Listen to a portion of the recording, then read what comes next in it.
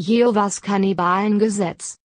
In der Publikation der Wachturmgesellschaft mit dem Titel Was lehrt die Bibel wirklich? Auf der Seite 131 stellen die extremen Bibelfalschausleger der Wachturmreligion eine Schnapstransfusion dar und möchten damit plausibel machen, dass kein Zeuge Jehovas eine Bluttransfusion annehmen darf. Wenn Jehovas Kannibalen schon darauf verzichten, Menschenblut zu trinken, dann sollten sie auch keine Bluttransfusion annehmen. Klingt logisch und leuchtet ein.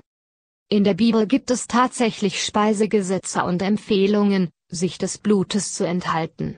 Es gibt aber in der Bibel niemals den Bezug ihrer Aussagen übers Blut zu Menschenblut. Alle diese Blutvorschriften und Blutempfehlungen der Bibel beziehen sich ausschließlich auf Tierblut.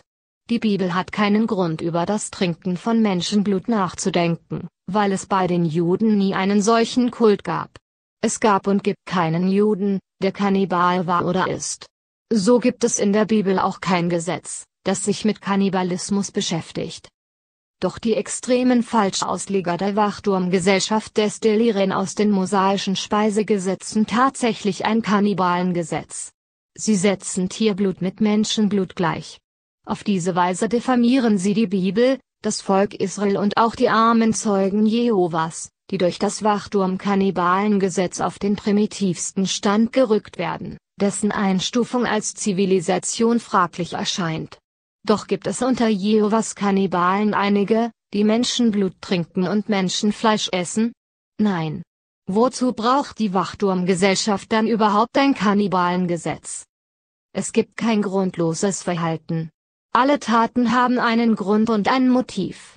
Das Kannibalengesetz der Wachturmgesellschaft kann nur ein einziges Ziel haben, denn es gibt gar keinen Kannibalismus, der zu verhindern wäre. Das einzig mögliche Ziel, das die Wachturmgesellschaft mit ihrem Kannibalengesetz verfolgt, ist Menschenmorden durch Verweigerung der rettenden Bluttransfusion. Die Wachturmgesellschaft hat sich ein Kannibalengesetz zugelegt, um in aller Ruhe und straffrei Menschen auf religiöse Weise umbringen zu können.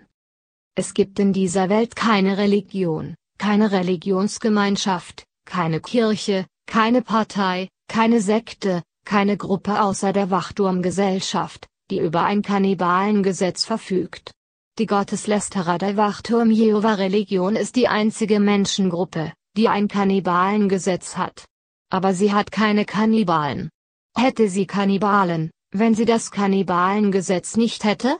Sind Jehovas Zeugen in Wirklichkeit Jehovas Kannibalen, die sich unter das Kannibalengesetz beugen?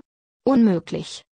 So bleibt nur die Schlussfolgerung übrig, dass die Wachturmreligion die Tötung durch das Verweigern der Bluttransfusion erreichen wollte und erreicht hat.